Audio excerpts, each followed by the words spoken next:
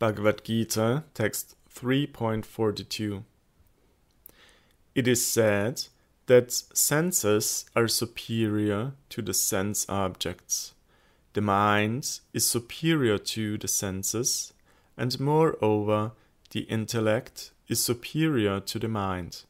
Superior even to the intellect is the self. In this verse, Krishna outlines the material hierarchy and then touches the soul. The authorities he refers to are either the wise or the Shruti. They say that the senses are superior to the sense objects. This also means that the senses are superior to the body, as the actual senses are situated in the subtle body with their external representations appearing in the gross body. Superior to the senses is the mind, which is subordinate to the intellect. This is the material hierarchy.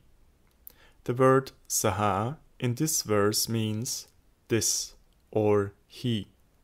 It refers to either kama itself, the individual soul, or God. If we understand the word saha as a reference to kama, the principal subject of this section, such a rendering serves to stress the power of desire. It can corrupt all.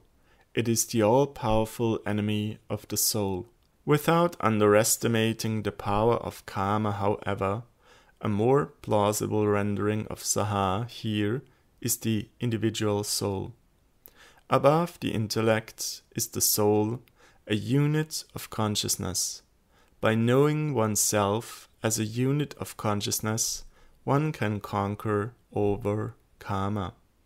This is confirmed in the next verse.